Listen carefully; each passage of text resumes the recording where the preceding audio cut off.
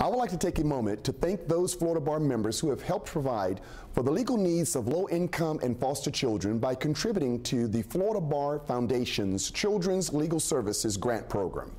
I am proud that the support of Florida lawyers for this important program has grown steadily since 2010 from just under $150,000 to more than $276,000 in 2013. Children's Legal Services grants fund local and statewide projects that protect the legal rights of foster children and of poor children who have special education, mental health, and medical needs. Voluntary contributions by bar members through the bar's annual fee statement and direct gifts made up 30% of the total funding for these grants in 2014. Florida's poverty population has increased substantially in the last decade, and we know that poverty takes a heavy toll on children.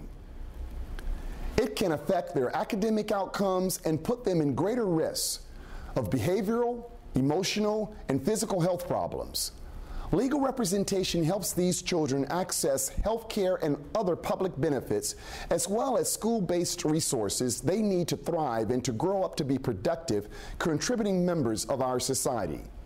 I encourage you to contribute to Children's Legal Services when you complete your bar fee statement. 100% of your contribution goes to local and statewide children's advocacy projects. Collectively, our support speaks volumes about the value we as lawyers place on the needs of Florida's children.